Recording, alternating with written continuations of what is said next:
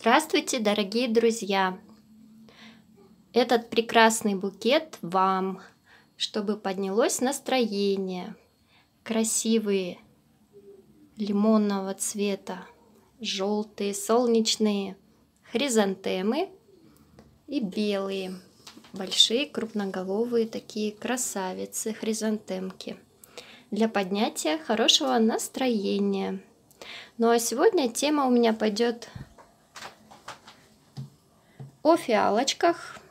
Сегодня я их пересаживаю, точнее сажаю листики в маленькие стаканчики. Листики уже укорененные, вот в таких вот баночках, пузырьках, можно сказать. Один укоренился уже хорошо, вот такую щеточку корней дал. И мы будем пересаживать сейчас их. Три листика. Один не очень дал корешок. Ну, можно сразу посадить уже в агробалт, в грунт. Он хорошо подходит для фиалок и бегоний. Вот так еще третий дал корешочки. И буду прям сажать сразу вот сюда в агробалт.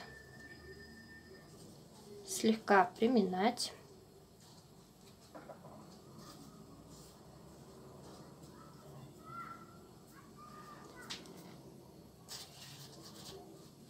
Стаканчики я взяла самые маленькие, пластиковые, 100-граммовые стаканчики. Можете посмотреть. Грунт рыхлый, агробалт. И немножечко польем их. Я стала сначала укоренять листики в пузырьках, вот в таких темненьких. Обычные от спирта, и либо еще каких-нибудь там беру чистые в отстойную воду, ставлю листочки. И получается у меня уже корни пустили листочки. И поливаю обычной отстойной водой. Слегка. Чтобы дальше у меня образовались деточки. Ну, где-то месяц или два пройдет, смотря как. И смотря какой сорт бывает даже. Вот, месяц назад я уже укоренила в земле листик. Это сорт Оптимара у меня. И уже есть, виднеются 4 маленьких деточки. Их нужно дорастить до большего состояния, а потом уже отделять. Пока мне нечего отделять. У меня вот на такой стадии находятся деточки появляются. Всем нужен рассеянный свет фиалочкам и немножко удобрения на стадии активного роста. Хорошо подойдет удобрение для фиалок, либо для любых комнатных растений. Также любое комнатное для комнатных растений удобрение. Вот эта фиалочка у меня сегодня принимала душик. Вернее, я ее прямо руками помыла под краном. Слегка теплая водичка. Я хорошенько помыла все листочки, она у меня запылилась. И вот так я ухаживаю за своими фиалочками. Также, если между листиками появляется маленькая-маленькая деточка, то я ее убираю зубочисткой. Например, здесь можно увидеть, вот здесь можно увидеть, что это бутон, а также вот такой крупный листик появился. Но я его удалю. Прям беру вот так зубочисточку и слегка убираю прямо так. Он легко отсоединяется, чтобы не забирал силы у основной розеточки. Такой маленький листик или деточки, когда появляется, нужно постоянно вокруг смотреть, чтобы розетка формировалась очень ровная и красивая. Также сегодня я пересажу маленькую деточку в стаканчик побольше, из 100 граммового в 300 граммовый стакан. Перевалю из цветущих фиалок у меня сейчас вот эта красавица.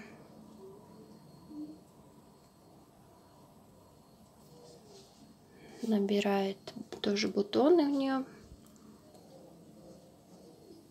Листики, как можете видеть, чуть-чуть обожглись.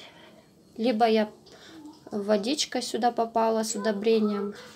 Также могут быть ожоги от солнышка. К сожалению, вот это у меня листики чуть-чуть испорчены у фиалочки. Все, теперь будем ждать, когда появятся детки. И потом будем отсоединять детки и пересаживать в стаканчики тоже небольшие. Далее я хочу пересадить маленькую детку из маленького стаканчика в больший. Со 100 граммового в 300 граммовый буду делать пересадку. Также можно просто, уже у меня приготовлен грунт вместе с дренажом, с отверстиями. Просто вытаскиваю вот так. Корни уже хорошо пустил, пустила фиалочка. И теперь я хочу просто увеличить ей объем. Я буду сажать ее аккуратно. Чтобы она хорошо села у меня сюда. И подсыплю ей земельки еще сверху. Таким образом я увеличила ей объем. Хорошо примяла возле розеточки, чтобы она не болталась, чтобы нормально была, сидела. Ну и это я смахну, потом хорошенько помою стол такие дела. Это у меня сорт сюрприза зимы должен быть. Ну, может быть, он спортом будет. Все возможно. Спорт это значит расцветет не по сорту. Все бывает у меня. Вот такая вот пересадочка у меня. Из маленького стаканчика в большенький получается.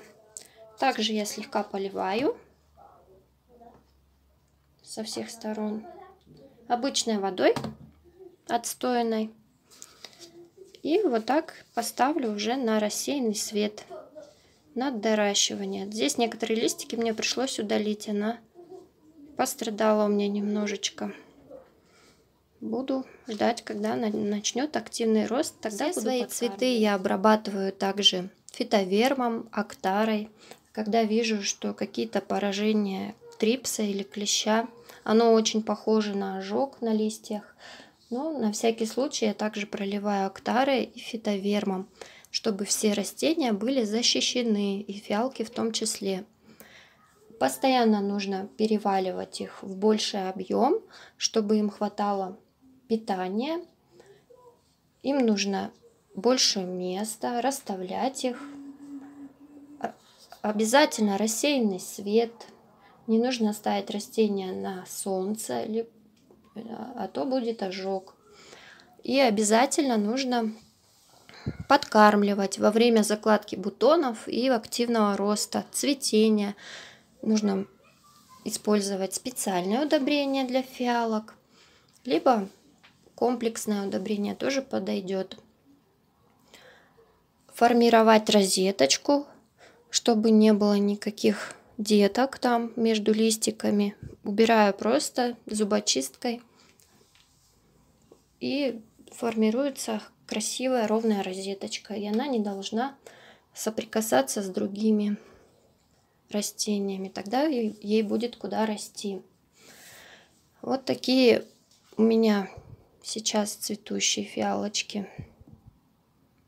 Это из листика выращенная деточка на данный момент зацветает. Пышно цветущие у меня уже, к сожалению, разобрали, не могу вам показать. Несколько фотографий я оставлю в конце, чтобы вы посмотрели. У меня не так много этих фиалочек. Ну, хочу поделиться красотой своих фиалочек. Всем спасибо за просмотр. Спасибо, что вы поддерживаете меня. Ставите лайки, пишите комментарии, подписывайтесь. Буду очень рада всем. Всем мира, добра, здоровья. Удачи всем. Всем пока-пока.